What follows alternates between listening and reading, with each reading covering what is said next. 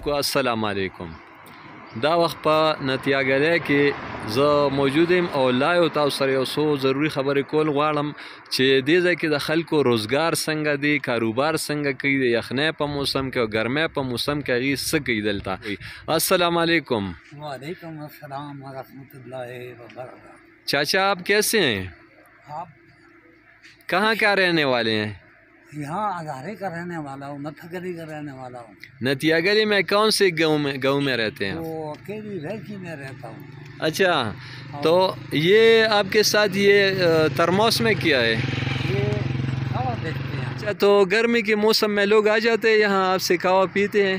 हाँ। अच्छा हाँ। ज़्यादा लोग आ जाते हैं? अच्छा कितने का बेचते हैं एक कप कावा एक कप बीस का देखते हैं। बीस रुपए का? बीस रुपए का। अच्छा तो सर्दियों में आप फिर क्या करते हैं? वो भी ऐसे ही देखते रहते हैं बस बीस रुपए में ये कवा बर्फबारी के लिए लोग आ जाते हैं? हाँ। कौन से इलाके से? पंजाब से ज़्यादा लोग आ जाते हैं यहाँ खैबर पुख्तनख्वा से? इधर कर देते हैं सर्दियों में।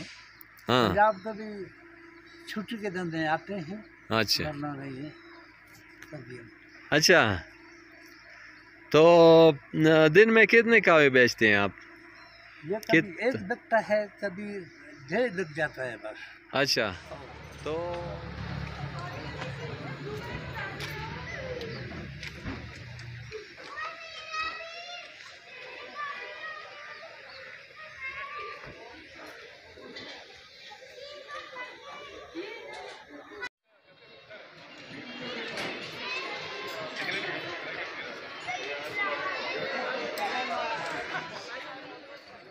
अस्सलाम वालेकुम चाचा है कैसे हैं आप? आप यहाँ का रहने वाले हैं? अच्छा क्या नाम है आपका? अच्छा तो ये चलिए हम बेच रहे हैं ये कब से? ये बस सीज़न में गर्मी होगी अच्छा। सर अच्छा तो एक चली कितने की है? तीस रुपये तीस रुपए की। तो लोग लेते हैं आपसे कोई ख़रीदारी करते हैं? बहुत लाते हैं। अच्छा। तो इस दफ़ा लोग बहुत ज़्यादा आए हैं या कम आए हैं इस दफ़ा? नहीं ज़्यादा आए हैं, बहुत गर्मी।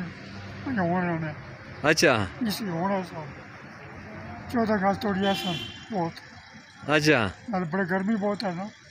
इधर गर्मी नहीं है। अच्छा। इधर राती रोग रजाइयाँ है ना। अच्छा जी। जो हवा है। जी। तो गर्मी कम कम है। अच्छा जी। आवाज़ चल रही है ना भाई अस्सलाम वालेकुम वालेकुम अस्सलाम भाई। भाईजान आपका नाम क्या है? मेरा नाम अवैस है अच्छा और कहाँ का रहने वाले हैं? हम इधर नतिया गली के रहने वाले नतिया गली के कौन से गाँव? नीचे अपना गाँव है मलाज अच्छा तो ये कारोबार कब से कर रहे हैं आप? कारोबार तकरीबन छः सात साल हो गए अच्छा। ये वाला कारोबार। तो सर्दियों में क्या करते हैं आप? सर्दियों में तो बर्फ़ होती है बंद होता है। अच्छा। तो रोज़ाना आप सुबह कि, किस टाइम आ जाते हैं और किस वक्त तक काम करते हैं? तकरीबन नौ बजे आ जाते हैं और रात को तकरीबन मगरब के टाइम पे चले जाते हैं। मगरब के टाइम तो कितना कमाई करते हैं आप आमदन? अल्लाह का शुक्र है थोड़ा बहुत हो जाए। तो सर्दियों में तो फिर मसला होगा। सर्दियों में बंद होता है इधर बर्फ़ होती है कुछ नहीं होता है टूरिस्ट भी नहीं आते हैं। पिछली दफ़ा भी तूफ़ान आया आपको पता है मरी में जो हादसा हुआ था उस वजह से लोग डर जाते हैं नहीं आते हैं तो घरों में ही होते हैं। बंद होता है।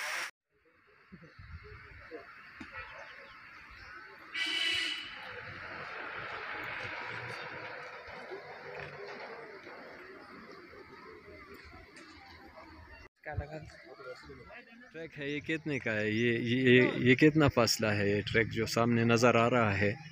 ये तकरीबन बीस मिनट का भी है आधे घंटे का भी है। अच्छा। भी है जितने वाला आप करना चाहते हो तो आप कितने पैसे लेते हैं इनकी? आधे घंटे वाला ट्रैक है इसका बारह सौ लेते हैं छोटा राउंड भी करवाते हैं साढ़े तीन सौ का चार सौ का पाँच सौ का जितने वाला भी अच्छा। लोग करते हैं भाई नहीं करते हैं।